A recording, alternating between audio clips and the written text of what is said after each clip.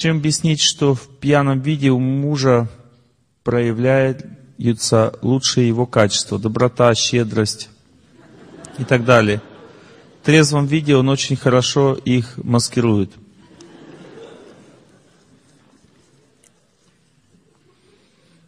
Причина заключается в том, что женщина не выполняет свои обязанности. Надо понять такую вещь, что за доброту, щедрость, любовь в семье отвечает жена, а не муж. Если жена не растапливает атмосферу в семье, не делает ее счастливой, значит у мужа все самые лучшие качества будут проявляться только в пьяном виде. Потому что он водкой себя растопит, и в это время как бы у него все пойдет как надо. Вообще-то, когда муж приходит домой, он должен просто, заходя в квартиру, пьянеть от любви жены. И в этом пьяном виде у него будет все проявляться. Потому что вообще у мужчины все такие вещи проявляются только в пьяном виде. Или пьяном а, виде от любви к жене, или пьяном виде от э, водки. Одно из двух.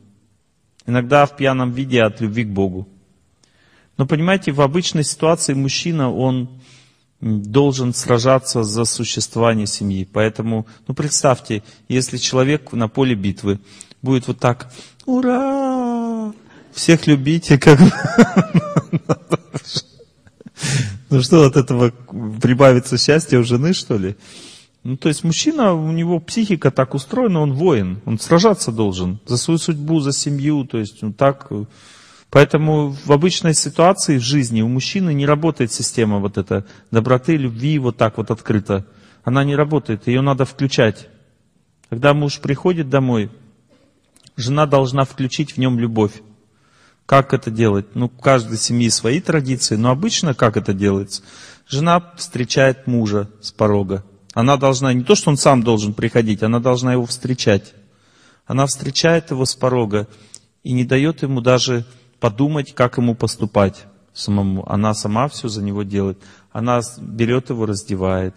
Потом берет за ручку его, ведет в ванну должен под душем поставить, чтобы снять с себя энергию к улице, чтобы домашним стать. Потом, когда он из ванны вышел, она идет его на кухню, ведет. Сажает, кормит его с любовью.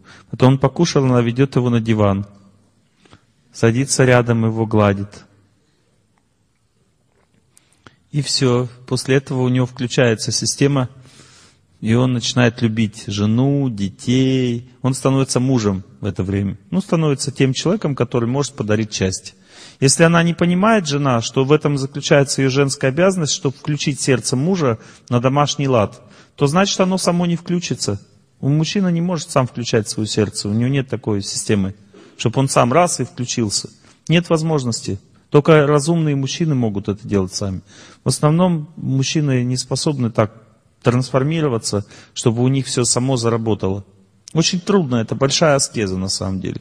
Но для женщины это естественно и легко. Она сама соткана из любви, и такие отношения для нее вполне нормальны.